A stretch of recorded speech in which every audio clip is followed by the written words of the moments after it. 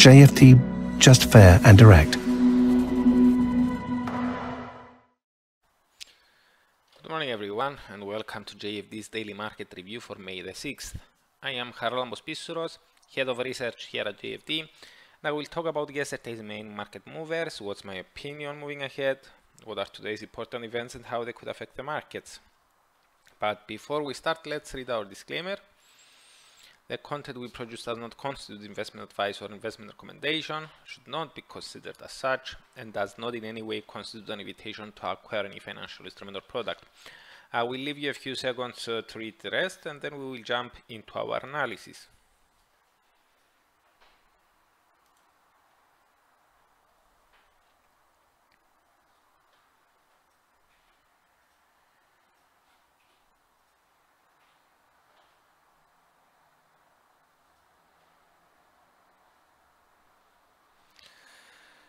Okay, the US dollar rebounded and outperformed all the other major all the other major currencies on Thursday and during the Asian morning Friday, gaining the most versus AUD, NZD, and GBP.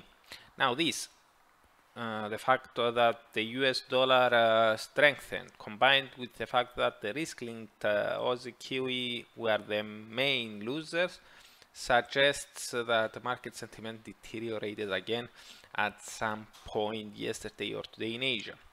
Indeed, turning our gaze to the equity world, we see that uh, all but one of uh, the major European indices under our radar closed in the red with risk aversion intensifying during the US session and rolling into the Asian trading today.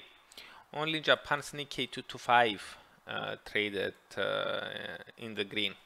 Now, with no clear event to trigger a flight to safety, we will stick to our guns that market participants still saw the Fed as the most hawkish central bank, even after Fed Chair Jerome Powell poured cold water on the idea of raising interest rates by uh, 75 basis points at the next gathering. Remember that even before the gathering, we saw these chances for an aftermath rebound uh, in case the greenback came under selling interest due to a disappointment. The reason was that even with 50 basis points increments, the Fed would still be among the most hawkish major central banks.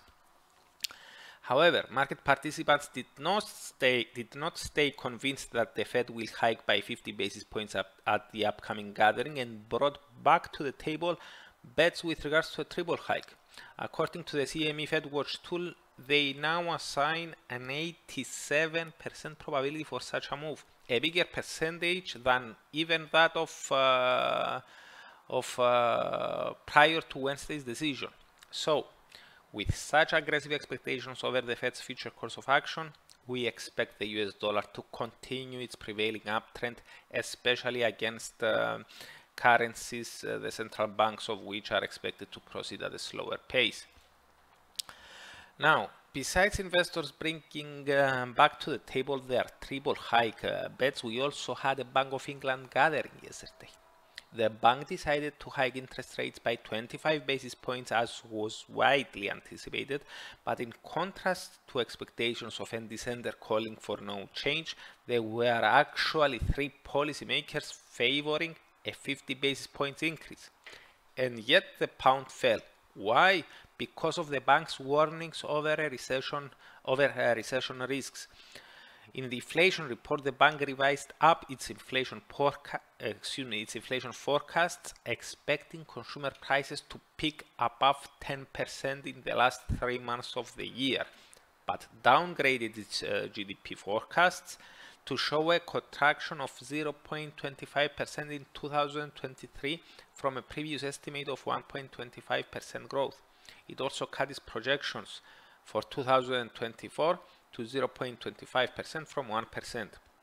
In the meeting minutes, it was also revealed that two members argued that the guidance was too strong uh, given the risks uh, to growth, meaning that they may be against further hikes for the next uh, few months. So in our view, all this suggests that the Bank of England may continue raising interest rates in order to bring inflation back down to target, but due to the recession risks, the pace may be much slower than, previous, uh, than, than previously anticipated.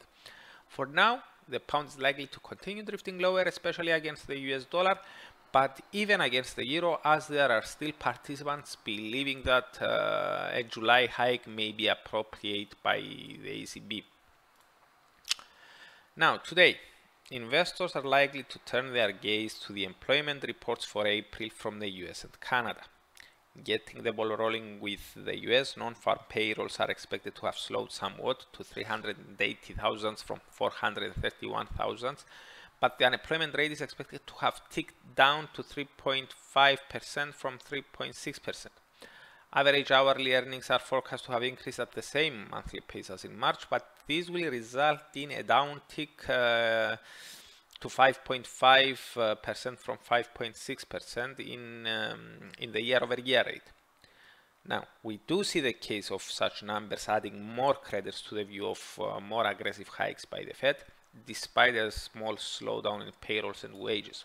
Why? Because uh, wages are still expected to uh, to stay well above the Fed's objective of 2%.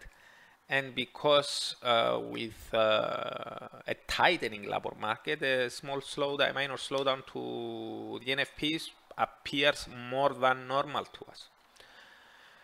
In other words, we expect the US dollar to stay in uptrend mode after the employment report as well. Now, flying to Canada, the unemployment rate is forecast to slide to 5.2% from 5.3%, and the net change in employment to show uh, to slow somewhat, excuse me, to 57.5 from 72.5 thousand. At its uh, latest gathering, the Bank of Canada decided to hike rates by 50 basis points as was expected, noting that interest rates will need to rise further. Governor Macklem specifically said we need higher rates and the economy can handle them, adding that they are prepared to move forceful, as forcefully as needed to get inflation on target. Be careful here. The Bank of Canada hiked by 50 basis points as several other major central banks have done, the RBNZ and the Fed on Wednesday, but the Canadian dollar at that day strengthened. Why? Because Macklem and his colleagues appeared hawkish, saying that they could act much more aggressively in the months to come. So although uh, the 50 basis points were priced in, we got an aggressive message that helped the Canadian dollar.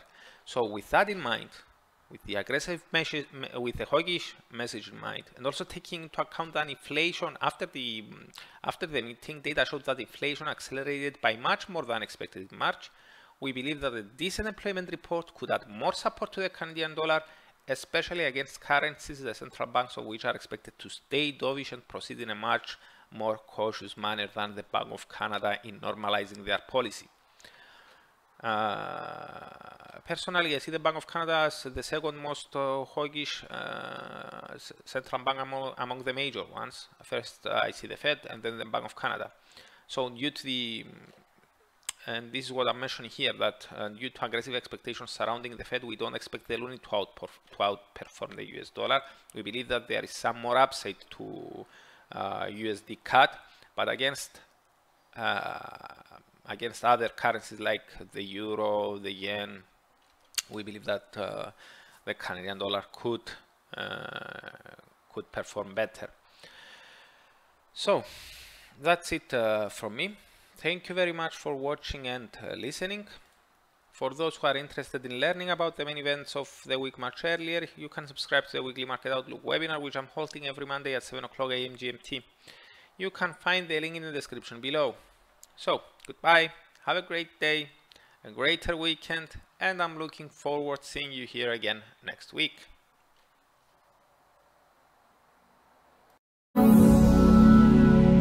JFD just fair and direct.